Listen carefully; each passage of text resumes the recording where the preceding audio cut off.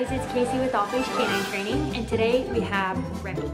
Remi is a seven month old chocolate lab, and the reason why Remi comes to us today is because she knows some of her basic commands. She has no stability in them. She's still very much so a puppy, so she has tons and tons of energy, but nowhere to put it. So she is just kind of all over the place, kind of hard to control, and overall just needs some more manners. Let's go ahead and see what Remi knows. thank you